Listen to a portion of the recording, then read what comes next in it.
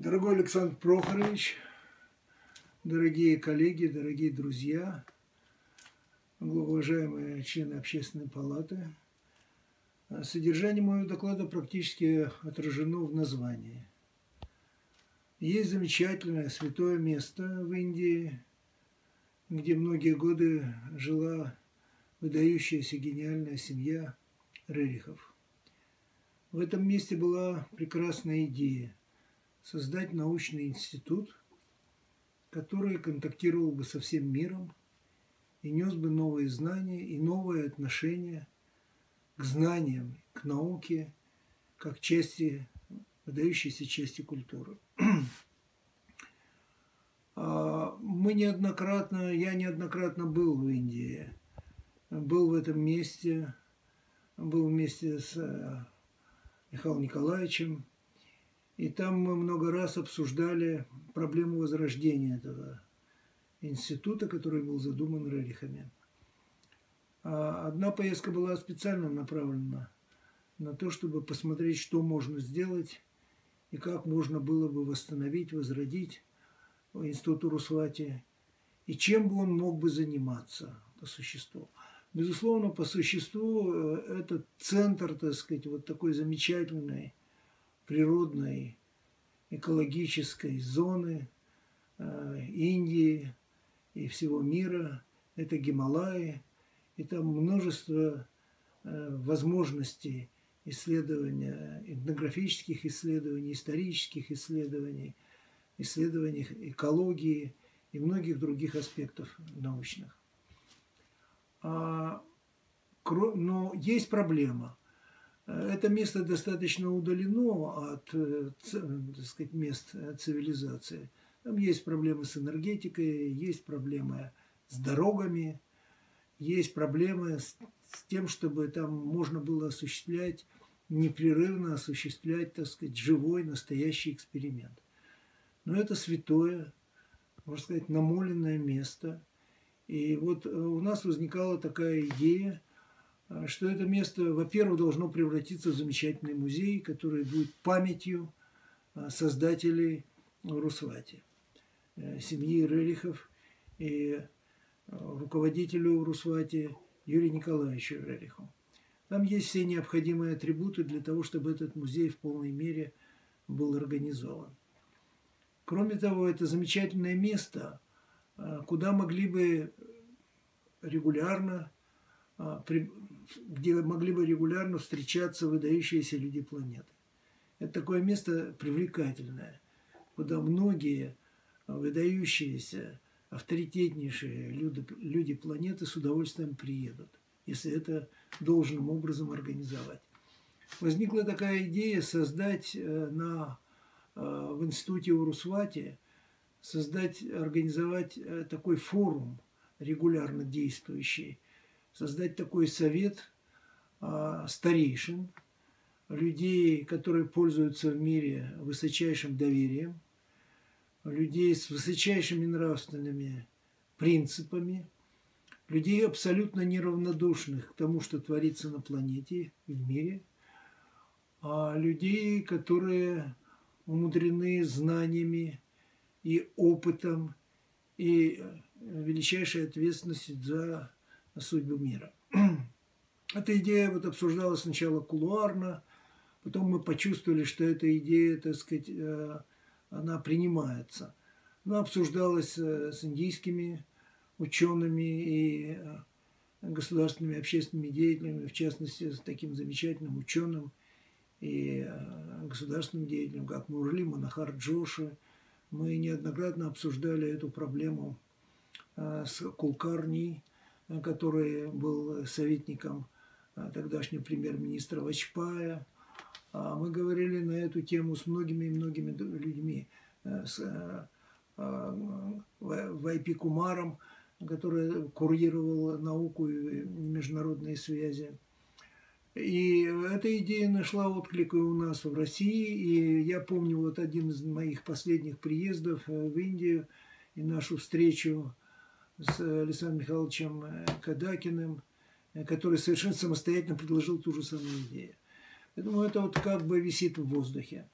Эта идея обсуждалась также во время э, ряда конференций и, в частности, э, во время нашего присутствия на конференции, которая называлась «Диалог цивилизаций», которую возглавлял тогда Якунин.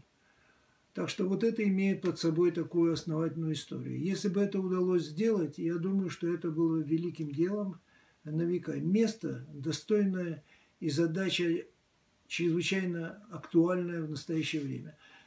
А, я сказал, что наука является, э, так сказать, частью культуры. Но а, и она посвящена, так сказать, главная задача науки – это получение, получение новых знаний. Но знания, к сожалению, они индифферентны, безразличны к их использованию. Поэтому если вот это не облечь в такую нравственную оболочку и не соблюдать определенных правил, то наука может э, очень много навредить человечеству и даже погубить его. А, есть такая расхожая фраза, над ней посмеиваются, я услышал ее как-то в средствах массовой информации, что вы, ученые, не изобретали, у них всегда получается оружие. Это страшная фраза, она несправедлива по отношению к ученым, потому что а, применение зависит от, от заказчика, от того, кто выделя, в, выдвигает требования по использованию знания. Для того, чтобы решить вот задачу и для того, чтобы наука служила во благо человечества, а, я глубоко убежден, и многие мои коллеги также, что необходимо создать некий правовой документ, который регламентировал бы использование знаний. А, эта идея была навеяна мне как-то вот э, моим общением с Дмитрием Сергеевичем Лихачевым в течение многих лет.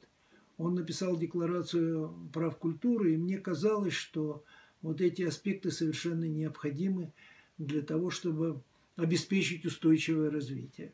Это очень ответственная задача. Если такие правила не будут сформулированы, они не будут приняты э, мировой общественностью, если это не удастся пробить, то знания с неизбежностью будут служить помимо блага выдающегося, они будут служить, могут служить разрушению. Сейчас особенно опасное время. Сейчас, э, если можно так сказать, Э, конец потребительской парадигмы. И наступает новое время, когда человечество должно подняться на новый, гораздо более высокий духовный уровень. Это само по себе происходить не может, это нужно контролировать, сопровождать, помогать становлению этого нового витка развития. А наука развивается в настоящее время совершенно э, безумными темпами. Каждый день крупное открытие, выдающееся совершенно – знание, основанное на логике в чистом виде, оно уже, так сказать, не поспевает за появлением новых и новых, так сказать, фактов, с которыми знакомится эксперимент. Поэтому необходимый переход к... Э, необходимо специально создать систему а, саморазвития человечества.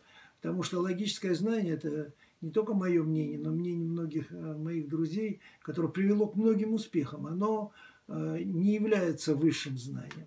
На самом деле есть такое, э, такая возможность получения знаний, как интуиция. Она связана целиком и полностью с нравственностью человека.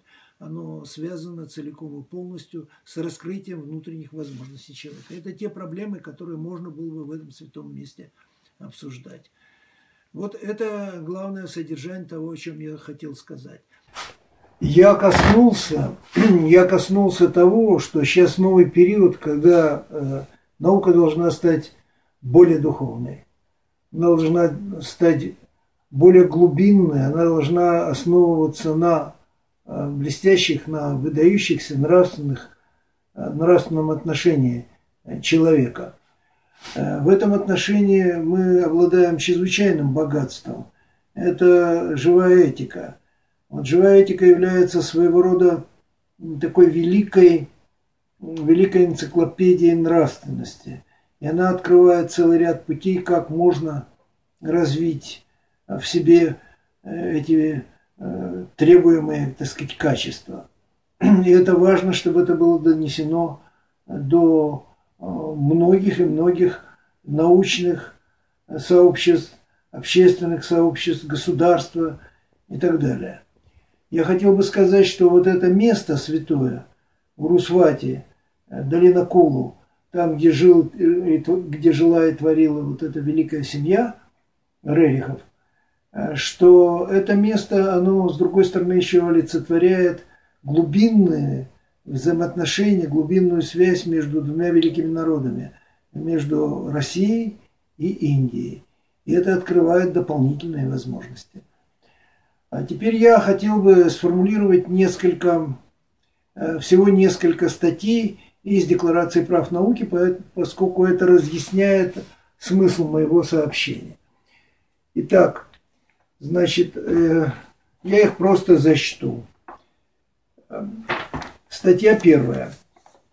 Творчество и углубленное знание о Вселенной, о Вселенной принимается как основное предназначение развивающегося человечества. Одной из главных задач в этом направлении является формирование и расширение сознания. Этой фундаментальной задаче в основной своей части и должен быть подчинен процесс воспитания и образования, в том числе и процесс подготовки ученых. Статья третья. Знания не должны приносить вред человеку. Они могут быть использованы только во благо. Знания не должны находиться в пассивной форме, если необходимо их применение для осуществления процессов развития, прорыва на пути восхождения, а также в случае необходимости преодоления опасных тенденций и ситуаций. Распространение и использование знаний, могущего принести вред человеку, недопустимо. Статья 4. Очень важное, я считаю, знания, последствия распространения которых не удовлетворяют научным критериям безопасности для жизни человека и планеты, не могут быть предложены к реализации. Статья 6.